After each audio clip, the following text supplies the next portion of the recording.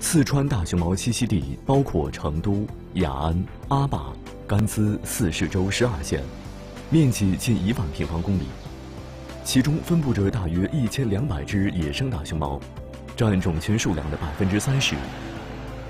我们曾经拍摄位于核心区的中国大熊猫保护研究中心雅安碧峰峡基地，大熊猫文化研究者孙乾带我们参观。孙老师说。基地圈养着八十多只大熊猫，还有许多海龟的国宝，其中粉丝最多的是旅美归来的泰山。哦，它是倒着出来的，它可能这样倒着出来方便，个头大。哎，我平时看到熊猫行动都是很慢的，现在它 应该是饿了是吧？都跑起来了已经。哦，这只熊猫就叫泰山是吗？是啊。哦，他多大了？应该有三四岁的样子。那这个泰山他是哪年回到中国的？他的爸爸妈妈嗯是两千年的时候到美国去的嗯是爸爸妈妈一个是美香一个是天天嗯到美国去后二零零四年然后配种成功零五年他生的。因为呢，按照中国的规定的话，在外边就是两年就得回来。嗯。但是美国，美国的老百姓写请愿书，向我们说，能不能让他在这儿多待点时间？哦，不想舍不得他是吗？哎，然后又延了两年，然后再延了半年，结果他在那里待了四年半，哎，四岁半，然后再回到中国。泰山旅居美国华盛顿动物园时，可是一位超级明星，他是亚运大熊猫盼盼的孙子。盼盼的老家就是雅安的宝兴县。一八六九年，科学界首次发现大熊猫也是在宝兴县。截至二零一九年初，有一百三十六只大熊猫从雅安走向中国，走向海外，其中十八只作为国礼落户异国他乡。雅安的野生大熊猫的栖息环境是在全中国在第一个层面上算最好的。然后送出去大大熊猫和现在的野生栖息地的大熊猫也是最多的。嗯，所以我们在二零零五年的时候申报，申报世界世界上的就是自然遗产。嗯，雅安是它的核心区。嗯，二零零六年，四川大熊猫栖息地申报世界自然遗产成功，这是对中国数十年研究保护大熊猫成果的肯定。也将进一步改善大熊猫的生存环境。避风峡基地占地一千零七十四亩，每个放养场的面积在一千平方米以上，场内有山有竹，山水相依，尽可能模拟熊猫的生长环境。现在是要给它对，我现在是需要给它冲奶粉。等我一下，一分钟。饲养员刘娟告诉我们，大熊猫幼崽大都在一岁左右断奶，喂奶的要求主要在奶粉量的控制。一般，一只一岁的大熊猫幼崽需要七百克牛奶，早晚各一次。其他时间喂一些胡萝卜、窝窝头或者竹笋。哎，这个放的是什么？钙呀。它现在年龄比较小，然后必须补充一下钙嘛。哦，所以就是在他们那个喝这奶的时候，就会加一些这些东西在里面。对对对，就跟小孩一样，要照顾特别好，特别细心。嗯。哪个不用背？哎呀，刘娟告诉我们，一会儿需要喂养三只熊猫幼崽，每只熊猫需要单独一个盆，因为它们会为食物而争抢。额外的东西，嗯，这个就是一岁的啊，毛巾掉了。啊，我来，嗯，没关系，没关系。那我自己。哇，你看这是，可以离熊猫这么近啊！你离远一点，你们拿这个盘离远一点啊。啊，要我先进去，然后你们再过来。过来，你们，乖乖，引动一回。运回过来了，快点，这儿在这儿，这儿过来这儿，咦，妹妹，来来来，这些小熊猫就听着它的声音，啊，它好像这儿来这儿在这，只熊猫好像闻到了我们手里这个牛奶的味道，所以它就跑过来了。来我们来进来了，进来了，进来了。我们可以进去吗？对，你们现在可以进来了，赶紧。小心，啊，我先进来，我先进来。哇，要跟熊猫近距离的接触了。要抢了。哦。那把把这个来给我。哦，这个给他，给他，给他，给他，给他，就给他。对对对对。就来，虽然是你的，给他，给这一只熊猫。哇。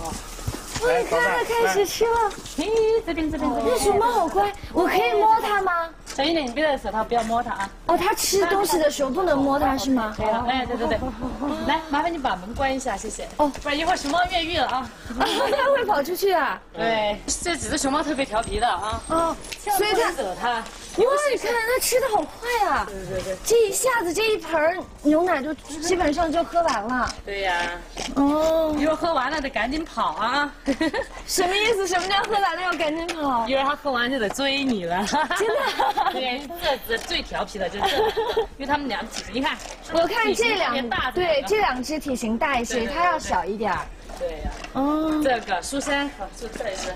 这一只特别调皮，只要你一坐在那儿，它马上就扑到你的背上，让你背它。我跟你说，真的。哦，这么调皮啊！然后你 年幼的大熊猫就像小孩子一般。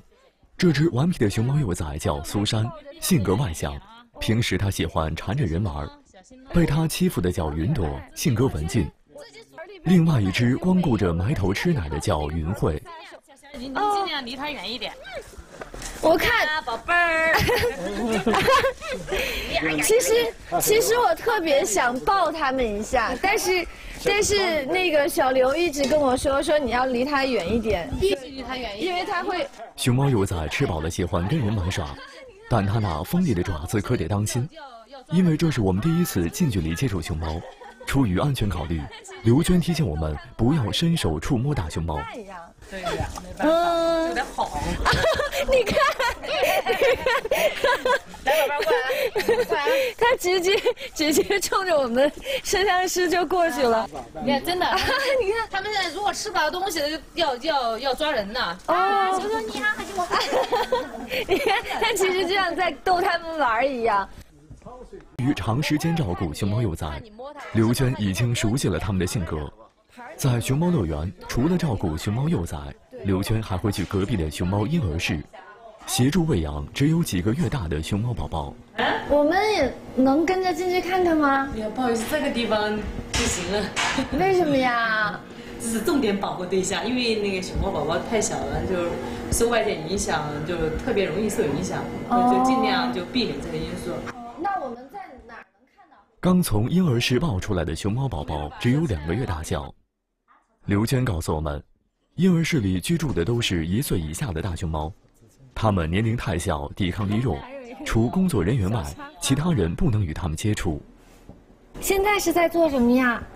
给小熊猫排便。排便？对呀。哦，它现在排便需要人帮忙是吗？对，需要有刺激作用。嗯，就是小熊猫现在太小了，它们现在还没办法自己排便。对，我们现在是在模仿那个小熊猫，如果是它自己妈妈带的话，嗯，它母亲也是这样子给它排便的。哦，所以说，对对，我们现在做这个工作只是一种模仿。嗯，说一吧。啊。嗯，人工饲养的方式主要是模仿母乳喂养，通常一天定时人工排便三次，工作人员通过粪便来观察大熊猫的身体情况，排便后就开始喂奶。刘娟告诉我们，不管是人工繁育还是自然繁殖，通常大熊猫的孕期有四五个月，有的甚至长达十一个月。目前人工饲养的大熊猫寿命最长的是三十八岁，相当于人类一百多岁。野外生存的大熊猫通常寿命不会超过二十五岁。嗯，刚才我看它就是上秤，称了一下体重。嗯。有多少多重啊？呃，四千一百一十克。嗯，这是两个月就这么重？两个多月。哦，那它刚出生的时候有多重啊？出生的时候就一般来说就一百多克。哇，那等于它两个多月就长了四千克左右。哦，差不多。哇，它长得好快呀！哦，它每天都都是几十上百克的这样长。在中国大熊猫保护研究中心。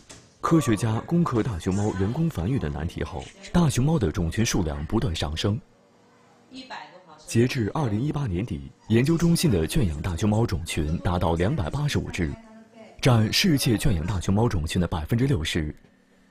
人工繁育是中国大熊猫保护计划的一个阶段，最终，人们要帮助人工繁育的大熊猫走向野外，使野外种群的数量继续回升。刘娟也希望自己喂养的大熊猫能回到大自然的怀抱。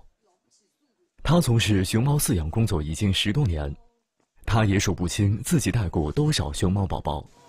跟大熊猫接触的这些年里，让他印象深刻的事有很多，但是让他最有感触的是2008年与奥运熊猫之间的故事。就零八年的时候，我们不是奥运熊猫去北京嘛？嗯，在北京的时候，然后有八只熊猫，有一只叫翠翠，那只熊猫性格比较温柔嘛。嗯，然后有一次，然后我们几个饲养员在里边聊天，然后。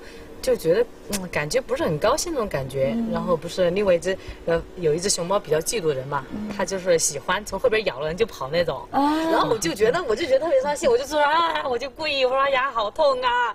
然后那个另外一只熊猫翠翠，然后我坐在旁边，它就一只手就这样这样搭在你肩膀上。哦，就这样感觉好像在安慰你那种感觉，对对对。然后他他嘴巴还不停的在动，但不是吃东西，就就就舔舌头啊，然后一只手就这样搭着你，哦，搭在你的肩膀上，感觉在哄你说，哎呀，别不高兴啦那种。嗯，对，然后眼神还特别那种特别温柔，然后就这样看着你，就这样就。真的感觉好像在说话，然后这只手还不会忘了，就是要这个样子啊，或者这个样子放着啊，有时还在这个样子，然后来甩一下舌头啊，真的就觉得，反正就是有沟通那种感觉，就觉得他特别理解你，就感觉还挺通人性的那种。对对对。感情深厚是因为曾经患难与共。二零零八年，汶川地震导致卧龙大熊猫基地严重受损，刘娟参与了大熊猫的营救工作，由于受到惊吓。大熊猫有的逃进山里，有的爬到树上不肯下来。为了将它们转移到安全地带，工作人员不顾余震和山体滑坡的危险，将它们一只只抬下来。当时大熊猫情绪不稳定，可能随时对人类发起攻击。平时用笼子转运，情急之下，人们只能用担架和编织袋将大熊猫转移出山。男生就得从下边一个一个往上面递，我往那个安全的地方抱嘛。哇，我抱了几，我自己都数不清我自己来回跑了多少次了。反正因为那个时候已经顾不上这些了。对，嗯，也没有说。其实后来他们说问我当时害不害怕，我说我不知道。就已经注意力是完全在熊猫身上了。对，因为那种熊猫特别紧张嘛，我们不紧张，熊猫特别紧张。然后它是熊猫一紧张，它就受刺激，受刺激它就要乱抓呀。然后本来就重，它一乱抓的话就更重。然后一抱着它就乱抓的话，脸啊到处都是伤疤。我跟你说，当时所以那个时候应该说你们这些工作人员都受伤了。对，都受伤，只是说轻伤都不重而已。然后都是其实心灵的伤是最重的。但 是你看到那个熊猫嘛，不是被。嗯，就吓到了嘛？你看到它乱窜的那种感觉，其实是很心酸的。嗯，就说你吓，因为觉得好无助那个时候。对对，因为熊熊猫对对我们而言，就觉得熊猫是小孩儿，然后我们一直我们自己把自己当成大人，要保护它们那种感觉。你看见小孩儿就就觉得无土没有地方可可以藏身的地方的时候，你会觉得好心酸，自己不能保护它那种感觉，就觉得哎呀特别可怜那种感觉，是吧？抓了，然后就这个。许多工作人员身上留下了伤痕，刘娟也不例外。地震中，卧龙基地的六十三只大熊猫，一只死亡，一只失踪，其他的六十一只都转运到了避风峡。在这里，大熊猫们平安度过了灾后重建的日子，避风峡成为了它们特殊的家。